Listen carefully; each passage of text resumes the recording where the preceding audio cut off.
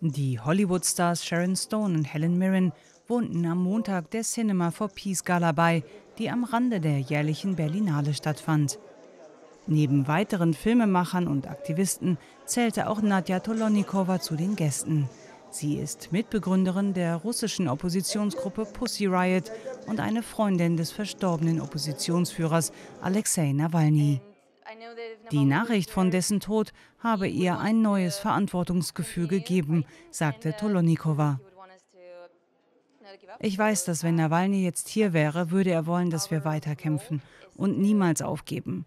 Es ist jetzt an uns, seine Fackel weiterzutragen und zu tun, was wir tun können, um das schöne neue Russland der Zukunft Wirklichkeit werden zu lassen. Das ist ein Traum, den er uns gegeben hat. Tolonikova, die geholfen hatte, Nawalny nach seiner Vergiftung zur Behandlung nach Deutschland zu bringen, wurde 2021 von Russland als ausländische Agentin eingestuft. Die Veranstaltung, die bereits zum 21. Mal stattfindet, wird von der Cinema for Peace Foundation organisiert. Deren Ziel ist es, gesellschaftlichen Wandel durch Filme zu fördern und das Bewusstsein für humanitäre Anliegen zu schärfen. Ich glaube, dass das Kino ein unglaublich mächtiges Werkzeug ist, um zu verstehen, wie andere Menschen sind. Und das ist das Geheimnis des Friedens. Das Geheimnis des Friedens besteht darin, in den Schuhen anderer Menschen zu laufen.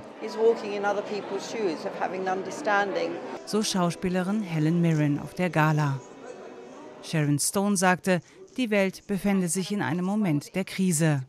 In dieser schwierigen Zeit muss jeder wissen, wer er ist. Ich denke, wir müssen in unsere Seelen schauen und entscheiden, was wir in der Zukunft für unsere Kinder und Enkelkinder sehen wollen.